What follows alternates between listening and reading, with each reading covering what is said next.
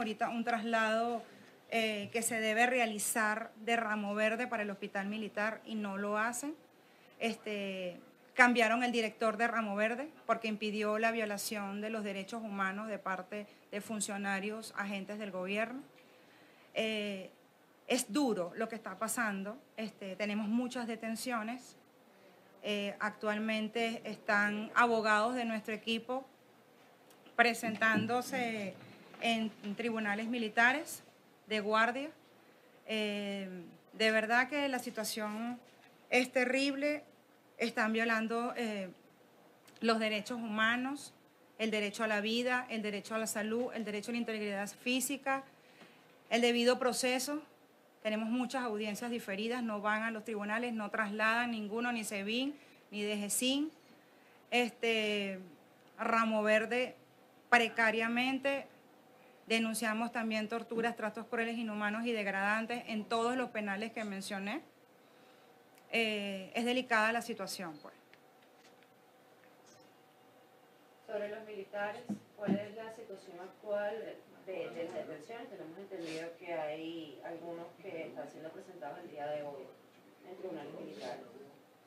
Correcto, está nuestro equipo, como dije, en Fuerte Tiuna, en los tribunales militares de guardia, esperando la presentación. No sabemos eh, qué es lo que hay hasta que no entremos a audiencia y podamos ver el fondo de cada caso. Pues. En el caso de las mujeres que están en el helicóptero, ¿levantaron la huelga de hambre todas? Les levantaron la huelga de hambre. ¿Cómo se les levantaron? Este, mira, em, a ellas la sacaron de ahí y no sabemos el estado de ellas.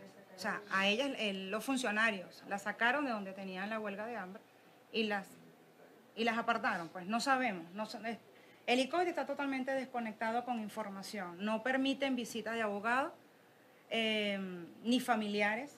Se les, eh, se les permitió la entrada de comida y agua. Se les estaba pidiendo hidratación y medicamentos, suero, pero no sabemos el estado del ICOIDE. O sea que las obligaron a comer, las obligaron Se imagina, se imagina que las obligaron, pues, porque están los presos hombres y, la, y las muchachas que tenían la huelga de hambre. Claro, por eso lo pregunto, porque la decisión de la huelga de la toman son los presos, no los policías. pero no sabemos la pero no sabemos, no sabemos qué es lo que está pasando allá adentro. Perdimos comunicación. Mira, no sé, dos días. Dos días que no se tiene ninguna comunicación con ellos. ¿Los familiares? Los familiares tampoco. Yo he estado con los familiares todos estos días. ¿Pueden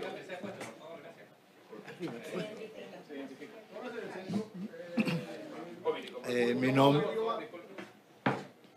mi nombre es Jesús Marcano, soy el coordinador de los defensores activos del Foro Penal en Caracas. Este, bueno, tenemos dos días, he estado todo este tiempo con los familiares en el helicoide, tenemos dos días sin ninguna comunicación con ellos.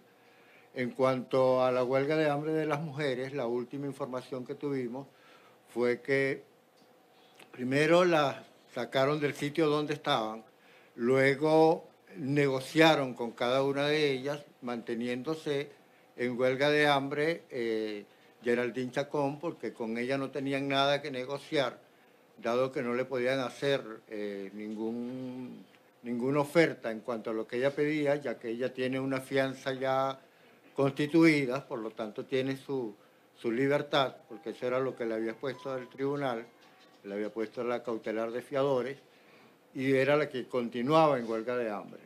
Parece ser que ya ahora hubo hasta una oferta para Geraldine, la aislaron de las demás, la pasaron a otra celda.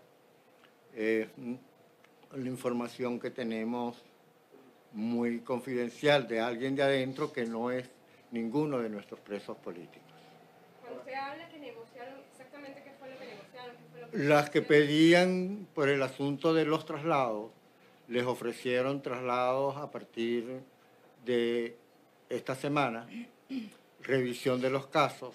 Los fiscales que estuvieron allí les ofrecieron revisión completa de los casos y los casos de salud también, tanto a, los, mm, a, las presas políticas como a las presas comunes que se habían sumado a la huelga. ¿Saben si alguna de estas propuestas se ha materializado en efecto? Hasta el momento no se ha materializado ninguna. ¿De todas las mujeres que estaban ahí, tienen alguna boleta de escarcelación? Eh, Geraldine. La única que tenemos. ¿Cuándo? ¿Desde cuándo tiene la boleta de escarcelación Geraldine?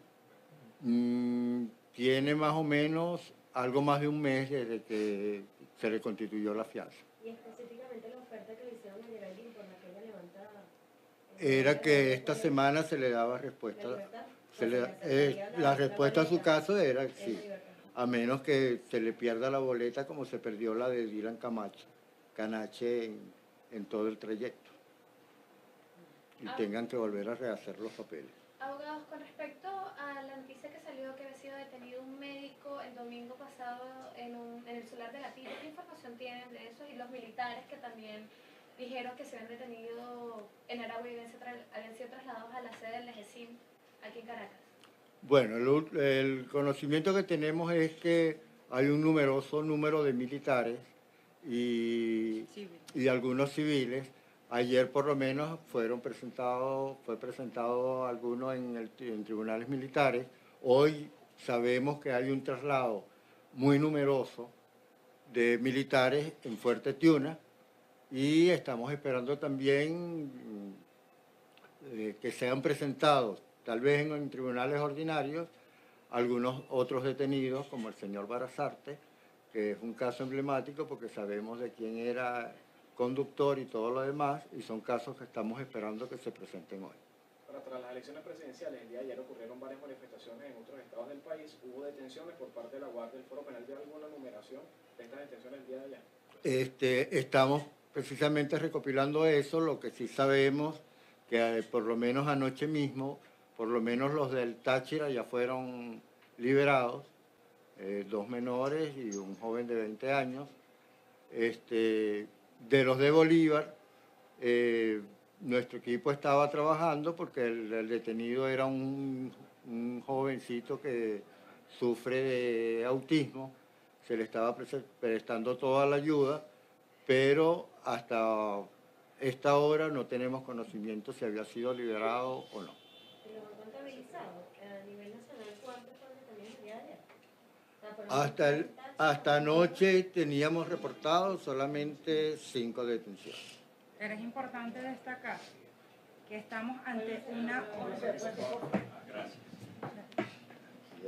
Pero es importante destacar que es lo que más alarma, es el ataque represivo que está pasando entre la sociedad civil, detenciones arbitrarias, este, manera como entran los organismos de seguridad este, y realizan este tipo de detenciones sin orden, sin nada.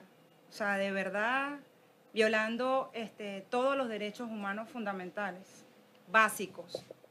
No sabemos, este, ni hay pronunciamiento del fiscal general de la República, este, no hay pronunciamiento de los llamados defensores de derechos humanos, como el doctor Larry Dabo.